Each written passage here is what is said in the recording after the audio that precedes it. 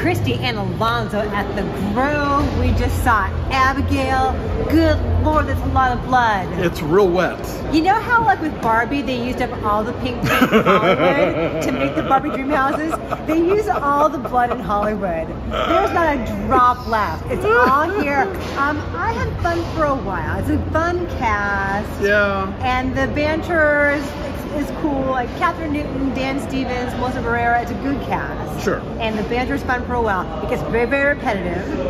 There's a cool, gnarly thing that happens. And the first time it happens, it's like, whoa, what did I just see? And then they keep doing it. Yeah, if you've seen the trailer, you know the first twist of this movie. There are other ones, which I'll grant it, but um, I don't know. I didn't. I wasn't all that entertained. I found all the characters kind of annoying, Oh, really? and so I wasn't. It was like, okay, well, you could just all die, and that would be all right. Oh, Kathryn Newton's cute. Uh, she's fine, but I just it was the characters, not the performers. Yeah, no, but it's just Uh, it's from the makers of uh, Ready or Not, which I loved, and Scream what, five and six. I don't know, but this is similar to that structure though, in that like they're all in a place. Yes, definitely. It, it's definitely borrowed from the Ready, the Ready or Not playbook, but Ready or Not is way better and smarter and more clever. And uh, you, I, I was, I felt more invested in in whether or not you know uh, uh, Samara Weaving got out of that house than I did with any of these folks. So But if you feel like a lot of horror movies hold their punches and are too PG-13 and too safe,